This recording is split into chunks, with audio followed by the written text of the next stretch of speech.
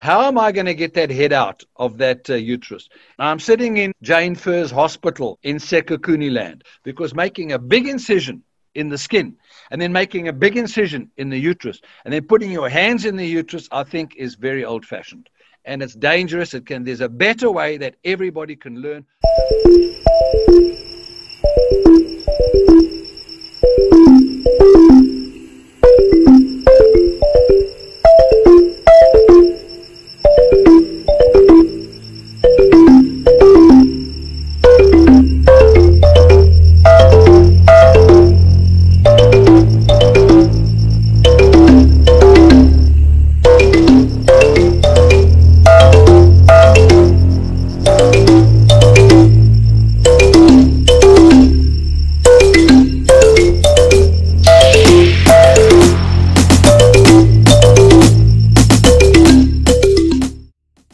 Very much.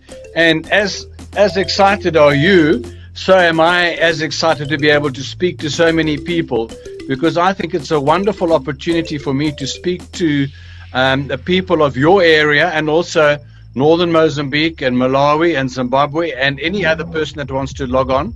And I'm going to be talking about cesarean section techniques. Um, the best cesarean section surgical technique, does it exist? What I want you to do, and your friends and colleagues in the area to do, is to ask questions as they come. Not don't keep them for the end. Keep them for uh, being timely, timely and contemporaneous, so we can address your questions as they arise. So your first slide um, is as follows. We're going to be talking about contemporary evidence and um, a practical approach. We're not keeping this academic. We're talking about hands on, how to do cesarean sections practically and safely. And it's important that this is being done, especially in rural areas where sometimes the um, training is not as good as it might be. I don't have any disclosures. And I'm just going to tell you, Dakalo, about three studies. It's not important to know all the literature. There might be some registrars writing exams, it's true. But I'm only going to be studying, talking about three studies and the usefulness. There's many, many things in literature written about um, cesarean section data, but it's more important that we just talk about the practical aspects. We're going to talk about then the literature. There's just three studies. We're going to talk about options for delivery of the baby's head, which is one of the most important parts of a Caesar. I'm going to do some video clips and show you how um, it can be done. And then finally, should you change your technique or should you stay where you are? On the left at the bottom is a picture of me. Excuse me.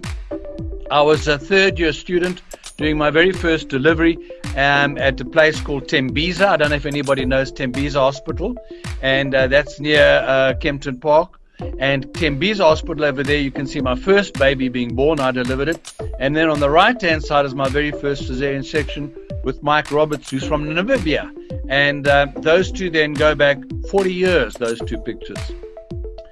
The most common operation in the world is cesarean section. And I was giving this talk the other day, and the person said, No, the most common operation in the world is actually circumcision. That might be true. but let's say the most common operation in the woman is cesarean section. And the rates have been increasing since 1955 when I was born. As you can see over there on the slide, the present data showed the rates is around about 30% for cesarean sections. And in our country, in um, South Africa, the rates for uh, rural areas and also for government department practice is actually just under uh, 30. It's 29%. In private practice, it's at least double that. Now, are we doing too many cesarean sections or are we doing too few cesarean sections? I just want to show you over here accurate rates, it's the second um, sentence, accurate rates of Caesar is difficult to quantify, but the incidence of cesarean deliveries varies from less than 1% in some parts of Africa to over 50% in China. Now, the important thing over here is that if you live in a country like Burkina Faso, thank you very much, uh, Ashley, if you um, live in Burkina Faso, or Ethiopia, where the cesarean section rate is 1%, it's extremely, extremely dangerous for the mother and the baby. And um, I'll come to show you why you should have more cesarean sections than merely 1%. In South Africa, as I said, it's around 80% in the private sector and just under 30% in the public sector. Now, one of the things about cesarean delivery um, uh, methods is that the techniques are very non-standard. You won't find one standard cesarean section technique. Let me give you an example. If you're going to do an operation for stress incontinence, the Gala will tell you that you do a TVT because that's the one operation everybody does. It's the best operation with the highest rate of success, and everybody knows how to do it using one method. So that's a homogeneous technique and it's standard. But in cesarean sections, that's not the case. Everybody's got their own favorite techniques. There's a study, the second line there, uh, called the Coronis randomized controlled trial. The Coronis randomized controlled trial looks at the prospective studies. The biggest prospective study to date, and it shows you what options you have for cesarean sections. Now, the importance of knowing the best cesarean section technique is that if you have a million cesarean sections being done, if you have a better technique that's safer and that's quicker and that's better for the baby, you must know which it is to make sure that the best options are given to women at this big level. Is anybody wanting to ask a question? Yeah, someone asked a question. I'm just going to ask Ashley to see who's the question and what's the question. Okay. Then, important, ladies and gentlemen, there's no place for surgical arrogance.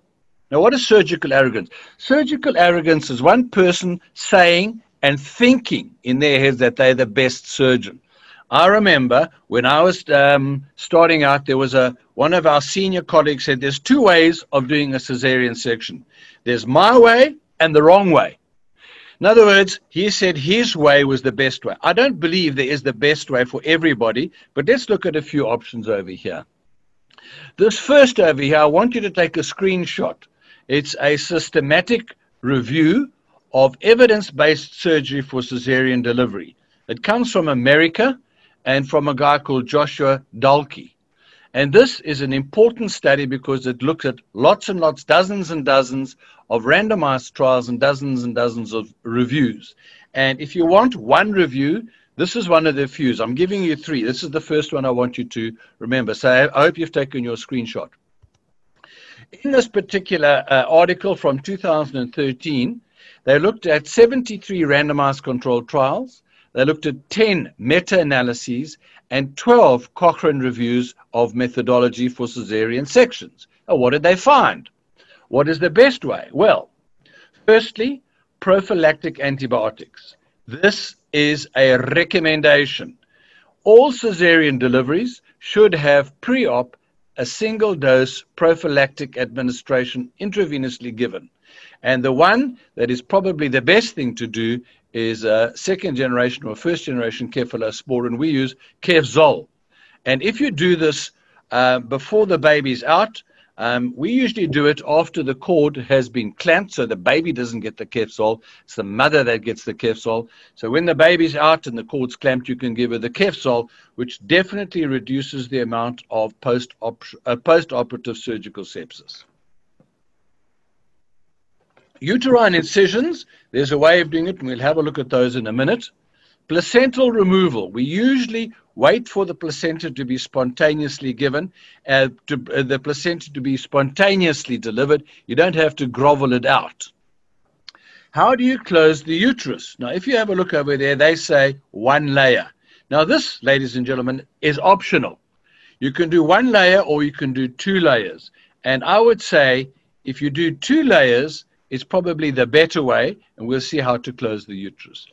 Subcutaneous closure, should you close the fat layer or the subcutaneous layer? If the woman is slightly bigger, in other words, the subcutaneous fat layer is more than two centimeters, you should close it. There's no point in doing a drain.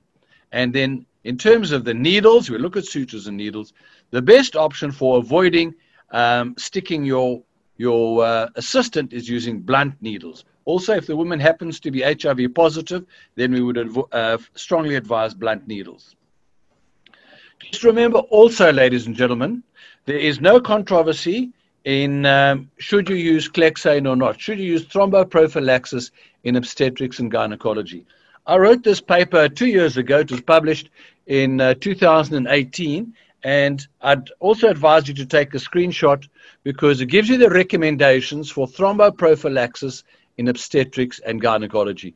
Who needs thromboprophylaxis in O&G and when to give it and how to give it. That paper will tell you all you need to know. We don't have time to go into it, but we would suggest that it's a very good idea post cesarean delivery to strongly consider the use of uh, heparin in these women, um, depending on their, um, their size. Now, here's the second trial I want you to remember. You can take a snapshot of this. Uh, uh, this is the Coronis trial. It's a randomized controlled trial, and this is a very, very important because it's a powerful way of looking at data, and many thousands of people were randomized, and the outcomes I'll come to in a minute. So get your screenshot of this one so you can track that down. It was first thought of in 2007. It took 10 years to, to actually publish the outcomes. And um, what they looked at over there is should you do blunt or sharp entry to the abdomen? And the outcome here is looking at the incidence of hernias. So should you go in blunt or sharp when you enter the peritoneal cavity? The second thing is when you repair the uterus, should you take it out or exteriorize it, or should you do an internal repair? And the um, outcome they looked at then was the risk of infertility or ectopic pregnancy after the cesarean delivery. The third they looked at was should you close, close the uterus in a single or double layer? And the outcome there was the risk of maternal death or pregnancy complications and subsequent uh, pregnancies. The fourth variable they looked at in this very important study was should you close or should you not close the peritoneum with sutures. And the outcome measurement here was the risk of pelvic adhesions or the risk of infertility in subsequent uh, pregnancies. And then the final thing they looked at, which suture should you use? Should you use catgut or chromic as we call it, or polyglactin or vicryl as we call it. And the outcome over there they looked at was the risk of subsequent adverse pregnancy outcomes like uterine rupture. So these then, these five things are contentious issues. Which of those pairs should you do to give you the better um, cesarean delivery technique? Yes, Dakalo. No questions. Okay, then I'll carry on. No questions. Yet. No questions. Sorry, yes. No questions yet. Uh, no questions. Thank you. Okay, Dakalo. Um, take a screenshot because this over here is the outcome of the Coronis trial. And the Coronis trial over then uh, its outcome is reported in 2016, 10 years after they started it. And it, uh, I just want to show you one or two things. Look over here. It was a, uh, the importance over this for us, it is um, a trial that was done in 19 sites in Argentina, South America, in Chile, South America, in Ghana, in India, in Kenya, in Pakistan, and in the Sudan. So these countries over here was where the study was done. And they looked at many, many thousands of people. Let's look at the outcomes of this um, prospective study. Firstly, they said if you look at abdominal entry, it doesn't matter, ladies and gentlemen, how you open the abdomen. You can either do blunt or you can do sharp because the hernia rate subsequently is 1% in both groups. So if you go in sharp or if you go in blunt, the hernia rate subsequently is the same when looking at abdominal entry. Should you take the uterus out or exteriorize the uterus when you repair it, or should you repair inside? Well, there's no difference in the outcomes of ectopic or infertility whether you do exteriorization or repair inside. Should you close the uterus in one layer, or should you close the uterus in two layers, a double layer? And the answer is it doesn't matter. Again, it doesn't matter. There's no difference in the subsequent cesarean section rate of rupture or in placenta accreta or in dehiscence of the uterine scar or placenta previa or in abruption. So it doesn't matter how you repair it when if you do it inside or outside. Should you close the peritoneum?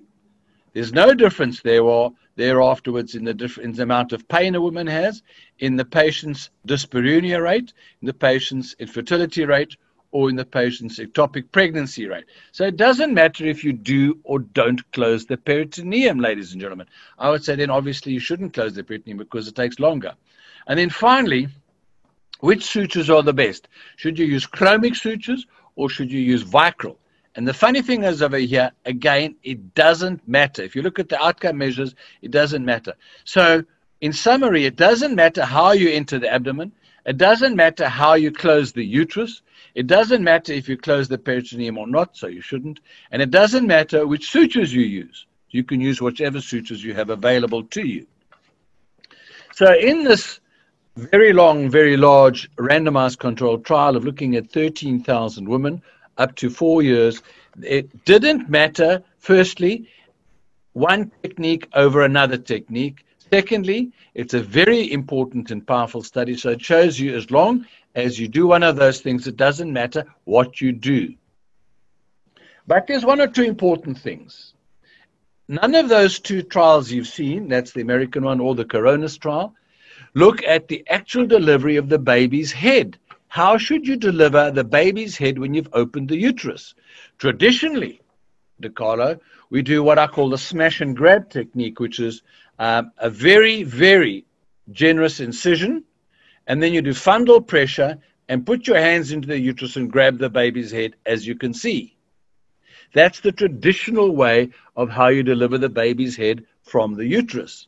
But, uh, Dakalo, the problem is nowadays that if you make a generous or a large skin incision, you can get into trouble.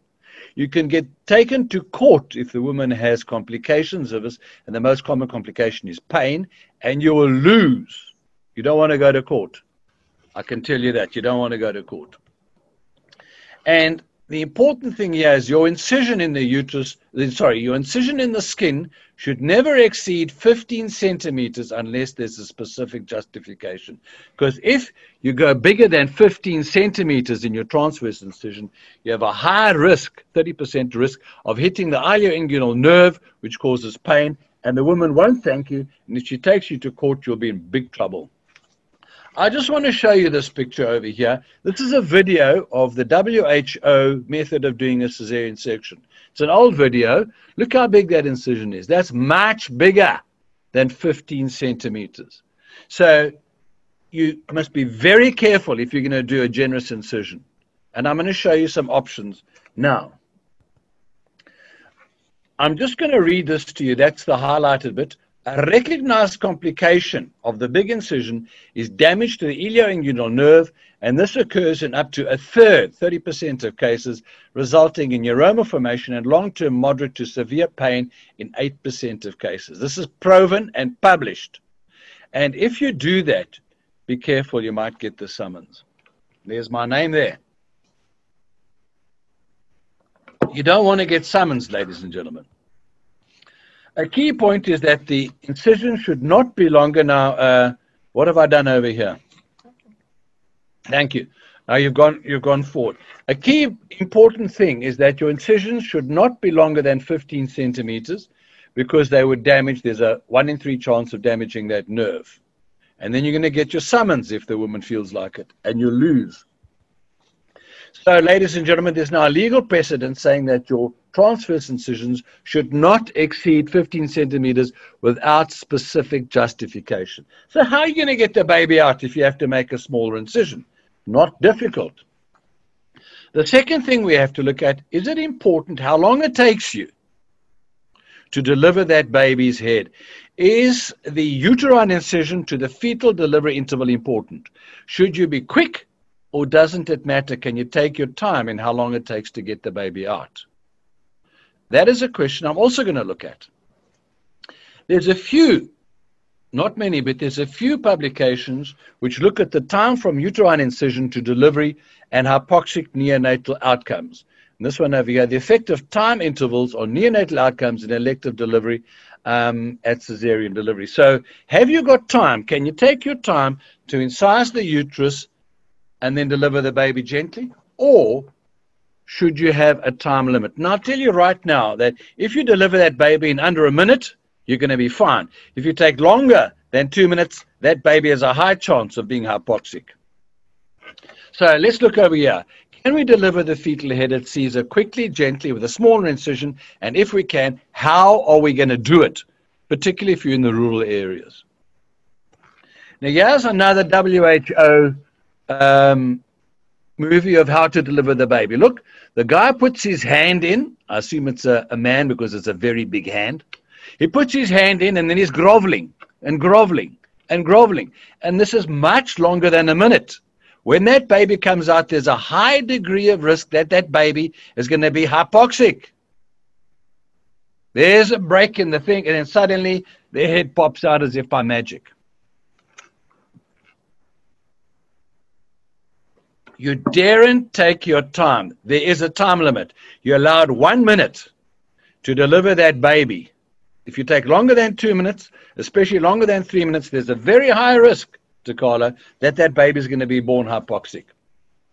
Now, one way you can do it is using a vacuum. This is not new. I've got a whole lot of um, references and data to show that vacuums have been tried. Look here. Here's a vacuum. Uh, delivery of the fetal head with a Malmstrom vacuum extracted during cesarean section. This is from 1962. That's before you were born, Dakalo. And lots of them over here. Use of the um, vacuum cup to deliver the baby's head. These data are is 1985. It's old data. Now, what I did is I especially designed this thing over here. That's a soft cup vacuum, six centimeters, made out of silicon. It's uh, designer made by Medela. It's, it's manufactured in Switzerland. And it comes with this electric vacuum pump called a Medela vacuum pump. It's also made in Switzerland. And what you can do then is deliver the baby's head at cesarean section quicker with a smaller incision. And so it's a safer op- operation. We looked at this, and uh, this was published in 2018.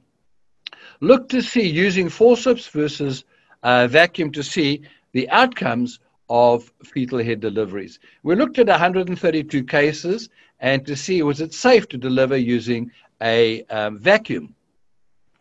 And we always, I always audit all my cesarean sections. And you can see over here, if you use a vacuum, the average time to deliver the baby's head is 38 seconds, well within your risk. The whole operation for a Caesar takes 16 minutes. So it's quicker to use a vacuum. If you use a forceps, it's still within six, it's still within 60 seconds. The operation's a bit longer, 18 minutes. Blood loss is less with a vacuum. Skin incision, look at that, 13 centimeters. So you can make a much shorter incision if you use a vacuum or a forceps to deliver the baby's head. And it also doesn't come with increased uh, um, trauma. Now, just look at this over here. I'm going to show you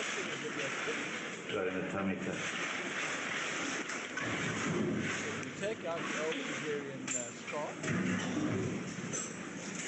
You're not feeling anything. Turn the uh, volume down and I'll tell what you Just tell taken out the uh, old cesarean section scar. She's a teacher.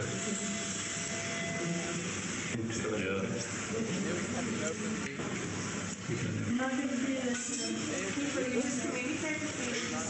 Okay, you ready, Linda?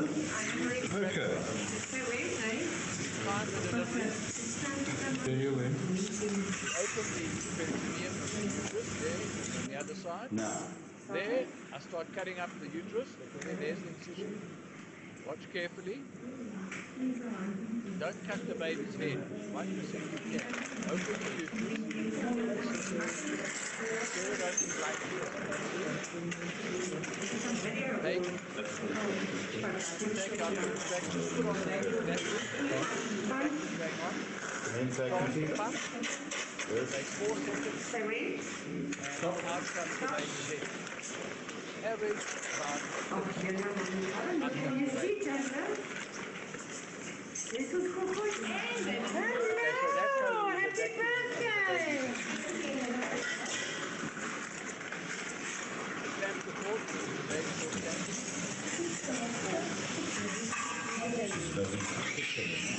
Now we deliver the procedure. Manual.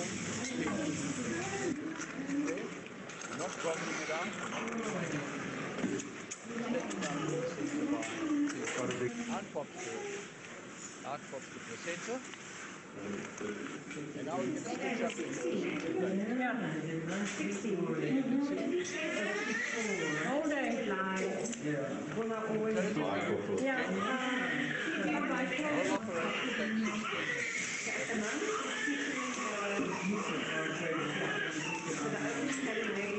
Monochrome state. Monitor is very gentle. Take with fibroid, that is a fibroid. And I just chop it. I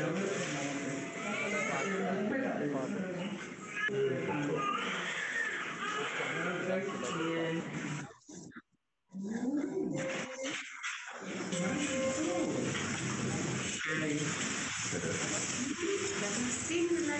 sheet.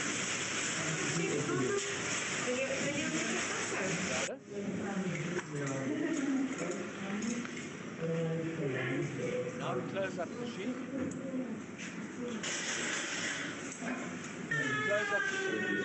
Yes.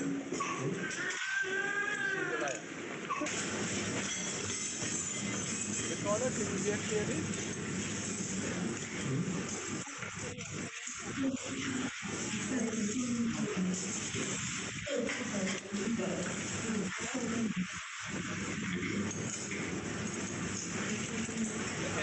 can you hear clearly? Okay, the sheet then. PDS. Give local anesthetic. Pain relief.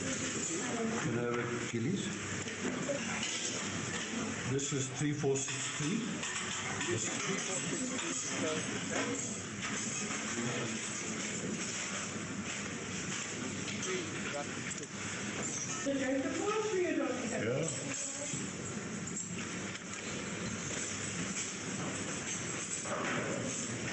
The number of episodes is 3463.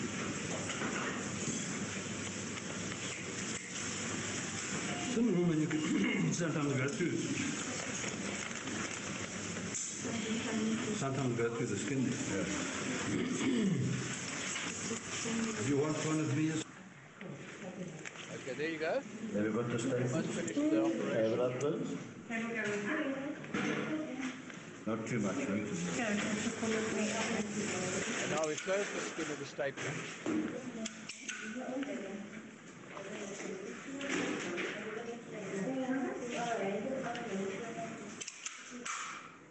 Go, and the operation is complete. One, two, three, four, five, six, seven, eight, nine, ten, eleven, twelve. These are the sutures I used. The top one over there was a mod. There's a question here. Can can we give you a question? I'm not sure if it's No, no, I want questions. Please give more questions. all right. Um, there's a question from Mishak Bokoto. Mishak is asking: Is it advisable for a junior surgeon to remove fibroid at cesarean section? Answer is no. It's easy. No, don't do it. The only reason I took out that fibroid is it was pedunculated, it was in the way, and I was scared of knocking it off when I put the uterus back. So don't do it. It's easy, easy answer. Notice over here. So did you hear that uh, if anybody wants a video, they must just speak to Ashley. Did you get that, Dakalo? Yeah, we got that. Thank you so Okay. much for that. Okay. Now look here. These are the stitches I usually use. Monocryl. That's called the three four. That's called the three four six three. Hang on. That Monocryl over there is the one we use for the uterus. That's the three seven five eight. Then the next one over here. The next stitch is the uh, sheath stitch. That's PDS. And here is the three four six three. That one over here is a two O Monocryl, and that is useful for the fat. It's called a universal hemostat because it stops any bleeding. And in this particular case, I happen to use the stapler, but you can also close the skin, obviously, with Monocryl. Now, the most important thing, one of the most important things with hemostasis is your surgical technique. Be meticulous the way you do it. Be gentle. Don't be rough. This over here is the stitch that, that stops all bleeding, Monocryl 3463. Be very generous with the use of Cyklokapron. We spoke about this last time. Cyklokapron is a lifesaver. Don't wait. If there's bleeding, give Cyklokapron. One of the biggest causes of maternal deaths at cesarean sections in rural areas is bad technique. Use Cyklokapron if there's bleeding. Now, you can also use other things that stop the bleeding. They probably aren't available. This over here is Unit, but there are other products, powder, for example, Fibrolol or Spongistan, which can be used. You saw I used it in that Caesar to put on top of the incision to stop any bleeding. When you use cautery to stop bleeding, remember, don't use too much cautery. Rather, if it's a difficult to a big vessel, go and stitch it with the 3463 because this devitalizes your tissue and cautery then can devascularize, devitalize, and cause complications. Poor hemostasis is a very bad thing because poor hemostasis leads to hematomas, which cause pain, and it might also lead to infection, which means you either have to take the patient back and you have to go and do a reduct laparotomy. You might have to have adhesions being caused, and that can cause pain and infertility. So it all starts with poor hemostasis not being addressed. You've got to be meticulous in your surgical technique to get a dry field, as you saw over there. The operation shouldn't have more than 200 mils of blood loss. I audit every single Caesar I do from all sorts of things I look at, their long, the, the duration of the operation. If it's taking you too long, you're doing something wrong. The average operation over there took 16 minutes. Now, if you don't have the vacuum, the soft vacuum, you can always use forceps because forceps is just as good as a vacuum. It does a very, very good uh, delivery of the fetal head. It allows you a quicker delivery of with, without being so big in your incision. And I looked at a randomized trial of uh, forceps versus vacuum, and the forceps is just as good as a vacuum. In this randomized trial, we found the this is a randomized controlled trial of forceps versus vacuum for delivery of the fetal head. Vacuum average delivery interval was 47 seconds, the forceps 58. So it's a bit quicker to do vacuums. The total operation time for vacuum again, a Caesar is a bit quicker use a vacuum because there's less blood loss. You can see the blood loss is less. There's more caput in the in the vacuum, but there's more laceration of the baby's head, gen, general laceration in the forceps. The other things like the ease of delivery, the APGAR of the baby, in ICU admissions and maternal admissions exactly the same in forceps versus vacuums. Look over here. Yeah, sorry, sorry to disturb. We've got questions. No, you're not disturbing. Raining questions, and I think the next question is possibly what you are about to say. Uh, Yes. First question is, what about swabbing the cavity, the uterine cavity? What is your advice with that? Will that not cause endometriosis? Swabbing the uterine cavity, yeah. If you're going to swab the uterine cavity, a swab, Dakalo, is a very rough thing. It's like using sandpaper. I, I do a lot of carpentry. My hobby is carpentry and making wooden things. And when you use sandpaper and a swab, it's the same thing. If you're going to swab, be gentle and use a wet swab. Next question. Next question, Pete, is saying that please and please and please, Pete, show us where to cut. Where is the lower segment? Okay, I'll show you in the next video. The next video will show you again. You mustn't cut too low. One of the most common problems, Dakalo, and I'm being very serious here, is when you cut too low on the lower segment. When you do almost a supracervical Caesar, don't cut too low. Go higher than you actually expect because when you cut too low, you're going to get terrible bleeding and it's very difficult to repair. So you'll see when I do it, and you'll also see if you want the video, though, you speak to Ashley, she'll give it to you. You cut almost higher than you've ever seen and ever expected. So cut higher on the lower segment, rather rather too high than too low. Next question. If I decide to do two layers, does it matter which one I start as a locking suture and the other one as a continuous suture? A very good question. Should you lock? Yeah, I lock them all. I lock them all. So I lock the first one and the lock the second one. Um, but just be gentle. Don't pull too hard. Don't strangulate the tissue. Don't hurt the tissue. Be gentle. It's a woman's tissue. So you can lock them both, both layers. Just be gentle, and so you don't strangulate it. Because if you strangulate the tissue, you reduce the blood supply. Next question. Yeah, there's still more questions. Maybe would you like to continue? Then we will go back Okay. to the Okay. Uh, here's another Caesar.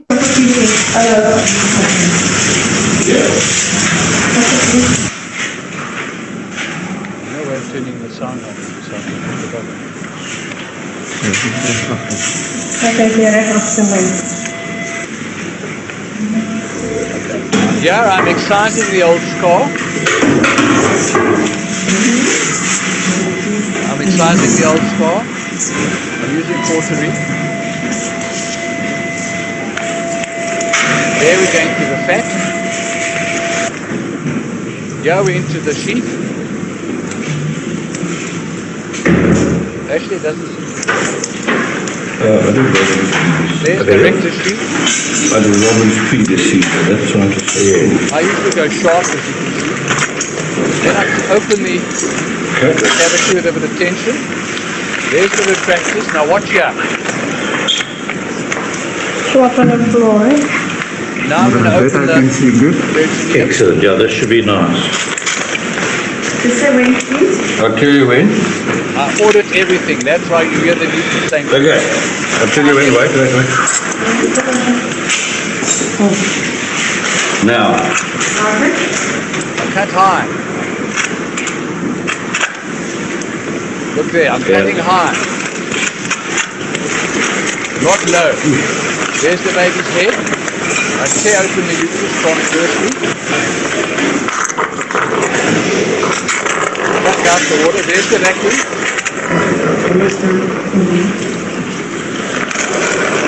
That's where everything's good. Takes four seconds to make the vacuum. what figure? And then we suck out the baby's head like that. Gently, there's no resistance. Take your time, be gentle. No resistance. Out comes the baby's head. It's a very big baby. This one is the size of the head. Also to the top of the posterior. The better one. Big head. Um, but good. Let's get. It was only the attachment I couldn't see good, but um, The day before that, Uh, what is that? That's two.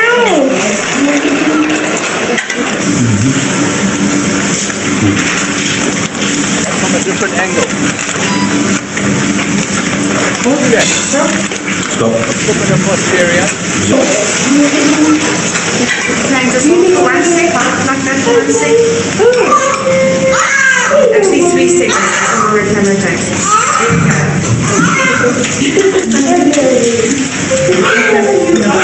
Forty seconds.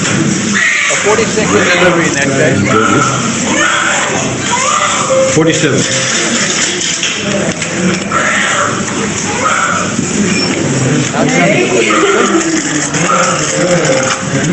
Now come to the Take out the uterus. Put another fibroid. Leave the fibroid alone. Don't touch the fibroid. Yeah, yeah, there's a big problem. I'm gonna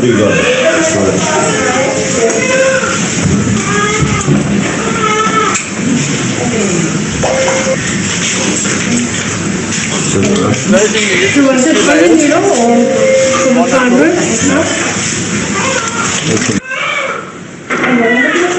Lock both layers like this. Be gentle with the tissues.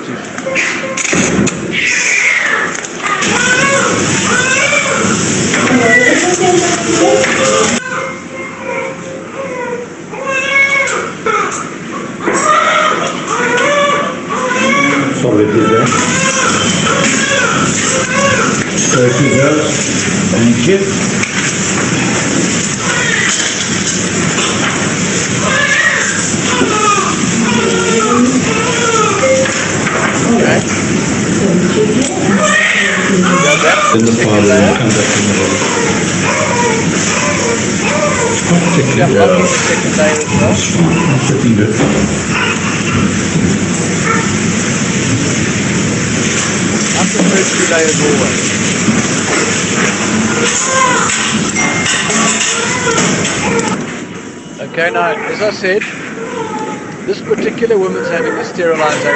Look at how we do the sterilization.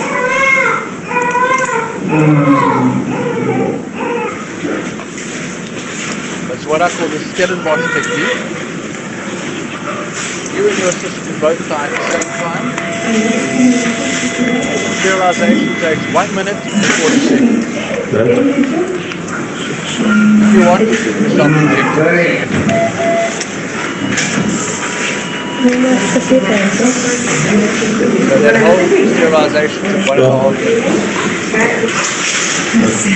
That's a pedunculated fibroid. I've got to off. Remember, we don't touch fibroids. So you can close your eyes and think, What was it for? big pedunculated fibroid.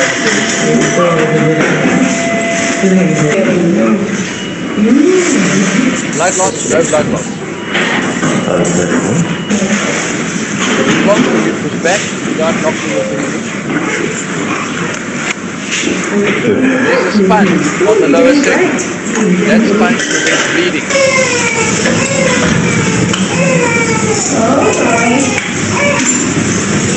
One, two, three, four, five. One, two.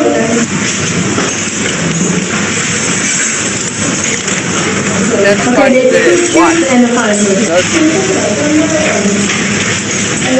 there two is white. tubes and a five. No bleeding. Lee reckons a GoPro is no good. Closing the sheet. One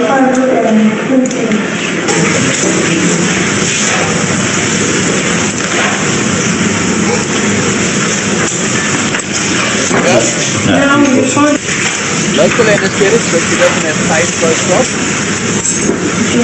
Real good. Operation Closing the Medic fat. Center, gone beautifully. Sports model tubes were done. There was a little fibroid, a growth in the womb, taken that off, made it beautiful. But uh, the, there's something not releasing. There you go. Yeah, look now.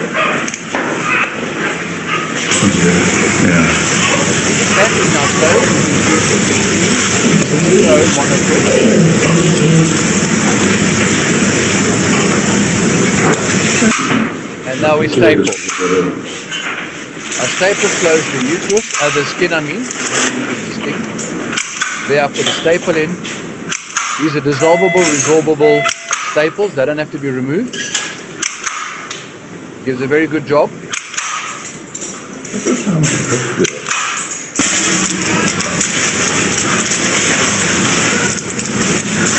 Here's the pressure. One, two, three, four, five, six, seven, eight, nine, ten, eleven, twelve, thirteen, fourteen, fifteen, sixteen. Now, why is it 6 centimeters? The previous guy that has a big uh, Caesar that took 16 centimeters wasn't me. A month later, just look at that scar. Uh, actually, do you see any scar over there a month after the operation? No, I don't. Thank you. The scar is virtually invisible, Dakalo, I, uh, using the staple, staples. Any more questions, Dakalo? Yes, there are questions actually related to what you said. They're saying which one is best from V-Way? Which one is best with the skin closure uh, for infection and cosmetic reasons? Is it the Okay. staple or the sutures? Okay. Now, the first thing is this this is private practice. They have staples because it's quicker, much quicker, and it gives a beautiful aesthetic result.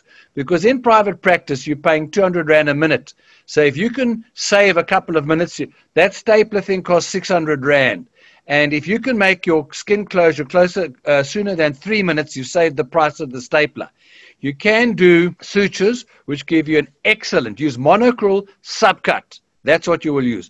The WHO recommends three or four interrupted silk, which is, uh, I would say, not a good idea. Use subcut Monocryl, Dakalo. Subcut Monocryl, and you'll have a beautiful result just like this. Next question. Just address with the issue of infection a bit. If you choose, more especially in a public hospital, uh, where you also worried about infection. So if you use subcut, um, the issues of if it's the area is infected, where you have to now open the whole area.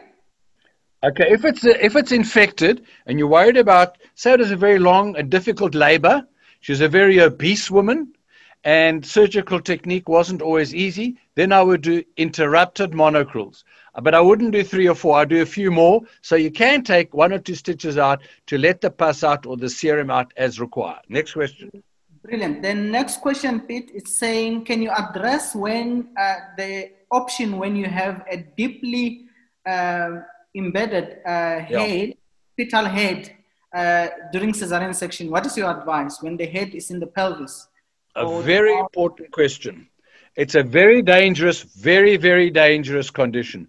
When the head is impacted, the danger here is that it can cause horrific injuries. Now, I would say the best thing to do is get your best midwife, and before you do the Caesar, she actually disimpacts the head. In other words, she puts her head under the drapes and elevates the fetal head, not with her fingers, but with her hand. If you're going to go and push that baby up with your fingers, you're going to push your fingers right through the baby's skull. And you're going to fracture the skull.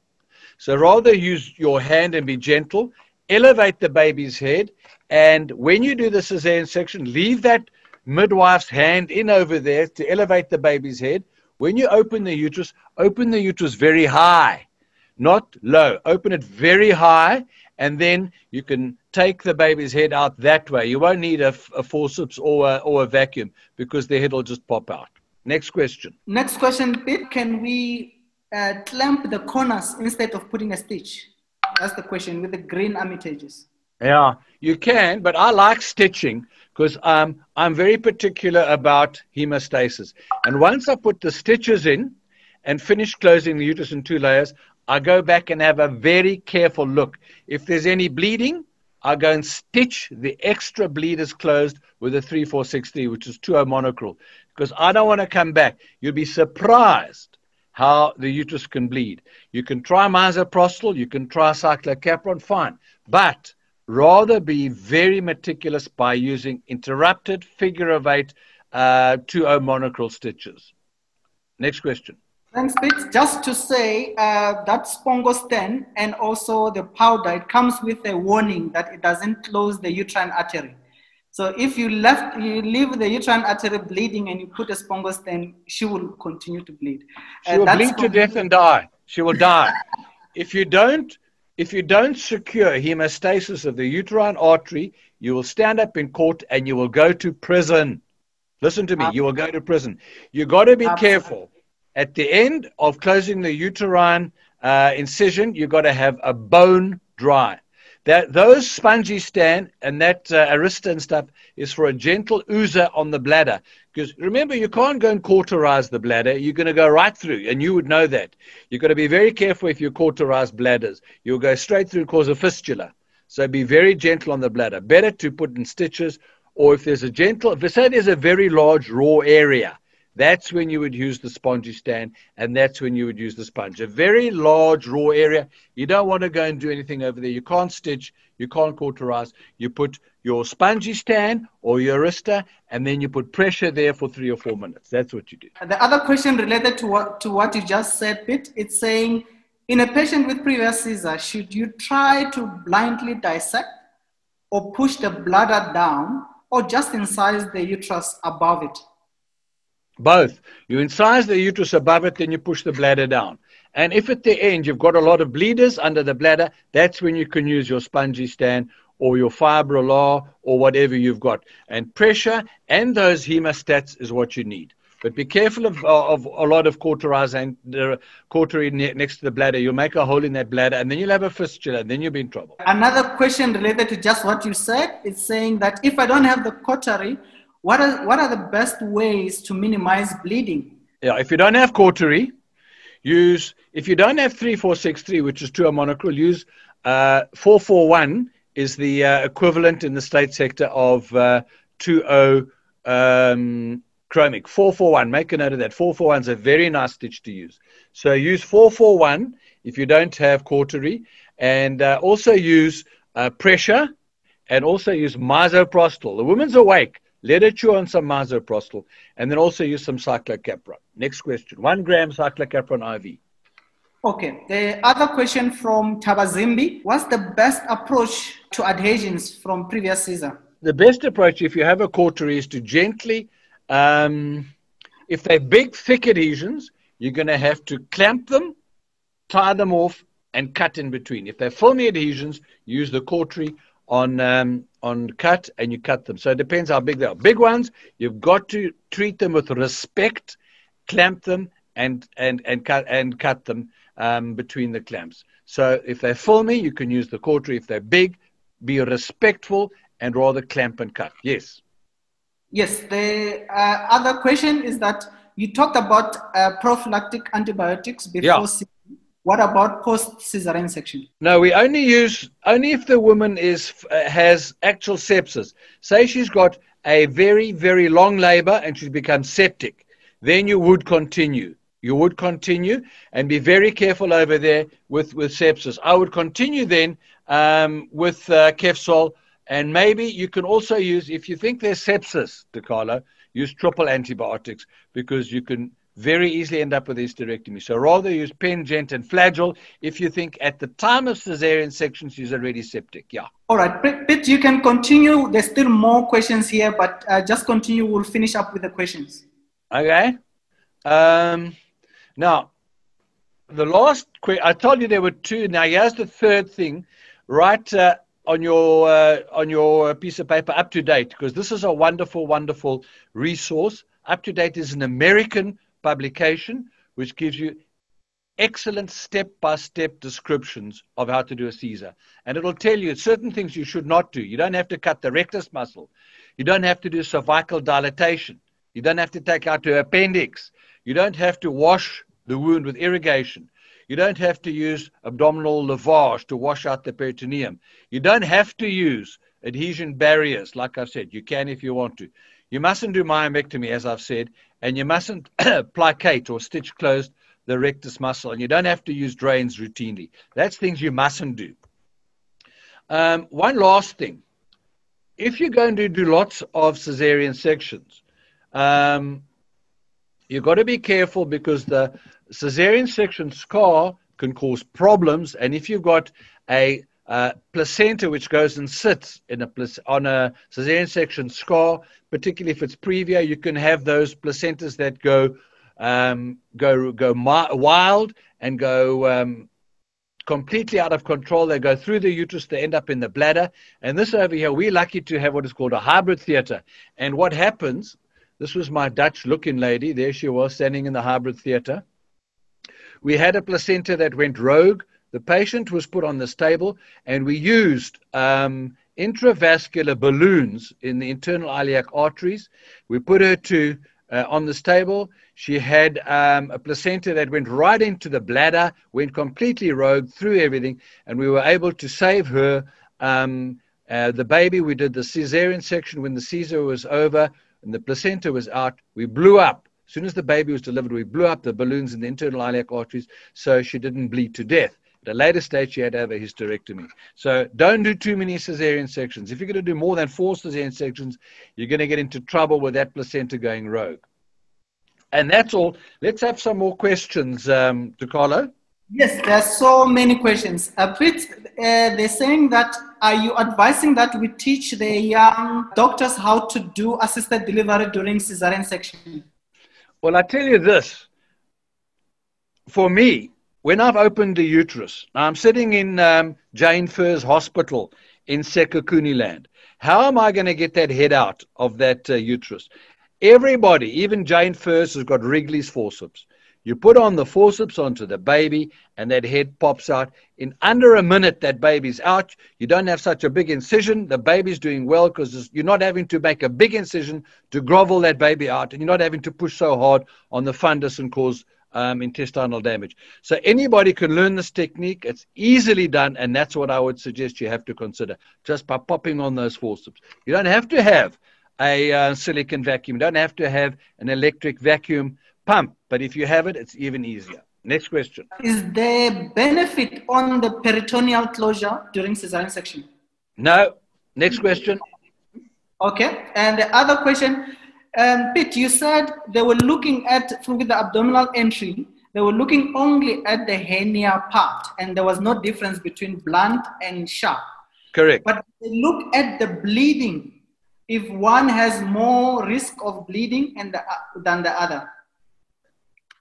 According to the randomized control trial, there's no difference. Now, I like uh, no blood, as I've said a couple of times before, but use the technique that gives you um, the most gentle operation um, options with the least blood, whatever suits you. That's why I'm not telling anybody to change. I'm saying do what you like, do what is gentle and gives you the best uh, outcomes with the least blood loss. Dakalo. Next question. Brilliant. Um, the other question, let me quickly check it. While I'm checking, Pete, what about the figure of eight when you're suturing the uterus instead of continuous um, suture? Yeah, I suppose if you put a series of figures of eight, that would be okay, as long as you get at the end to call a proper hemostasis. Remember, I'm not prescriptive. I haven't told anybody once to do what I do. I've just said do what suits you best, what gives the best outcome, the gentlest operation with the best hemostasis. So that's all I'm saying. Remember, an important thing, Dakalo, I do lots of cesarean sections. I do lots of vaginal deliveries. I do lots of vacuums. I do more than anybody else vaginal deliveries. So I'm a hands on guy. I spend my days in the labor ward doing obstetrics. I'm not an academic. I'm a simple jobbing obstetrician. So people that do an award round and have a clever professor standing and saying, hey, you should have done this, you should have done that. I'll tell you what suits me because I do a lots of them. I've done thousands of Caesars, thousands of vaginal deliveries. As I say, I've been doing them since I was in third year in Tembisa Hospital, and I've done more than most people. So I know what works and what doesn't work. Next question. I thought you were born that way. I didn't believe that was your picture in there in that initially on your presentation. Was it you? It was me. No, I was born bald. No, that I was me. I thought you were born that way. Pete, there are so many questions. Let's try to attempt to go through them. So the other one is saying, I have struggled many times delivering a floating head at, Yeah. at what is the best and safe method of delivering um, that baby? Who's Either a vacuum or a forceps. That's all. Nothing else. A vacuum or a forceps for a floating head, ideal. Next question. The other question is that what is the best approach for a transverse lie? This is from Thabazimbi again. Okay, transverse lie. Put your hands in and see if you can find some legs or some feet.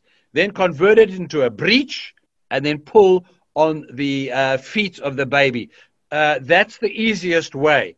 Incidentally, talking about uh, vacuums, there is a book called um, uh, Vacuums, and there is a, also a slide. Can we just look at the last slide? There's a book on vacuums I wrote many years ago, and uh, just go back to those slides.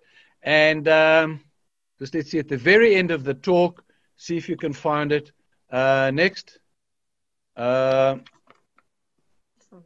just hang on. Nah, nah. That's something, that's another talk. Go, go, go, go, go, go. No, I don't know. It seems to have fallen off. But there is a book, and if anybody's interested in how to do vacuums, there's a book on the subject, and uh, I'll give you the reference. Sorry, next question. All right, there are so many. So uh, this one is from Mulifi saying this was very excellent presentation. He thank you with all his heart that um, uh, he's saying that with this presentation he believes that he's going to improve his skill. Inshallah. Inshallah. And then the other uh, question is saying, uh, I think this is a statement, but uh, let's pose it as a question. Is it advisable for a junior MO to do cesarean section on patients with platelets of 50 at the district hospital? I'm not sure thi- this is a full loaded question. it's easy. Send her to the highest level hospital you can because you might need to have a blood bank nearby. But also, don't forget if there's bleeding, don't forget, as I said, the Cyklokapron and the misoprostol. That'll save lives. Next question. Next question, previous scissor times two. Most of the time there's a lot of adhesions. What Yeah. do you recommend? Uh, can it be done in a district hospital or tertiary hospital? I think if you're experienced, it can be done in a district hospital. Yeah.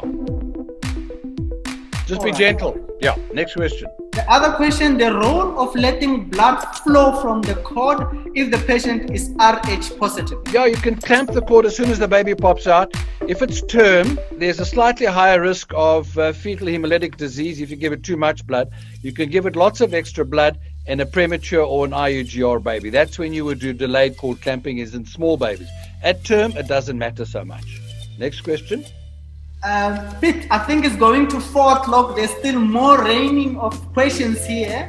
Um, people are really very happy with the, your presentation and they are asking more questions. Let me see if I can get grab I tell you what, Carlo, I know that we have to end at four because we've run out of uh, internet, but they can just send their questions to uh, Ashley and I'll answer them on the on the email if you want.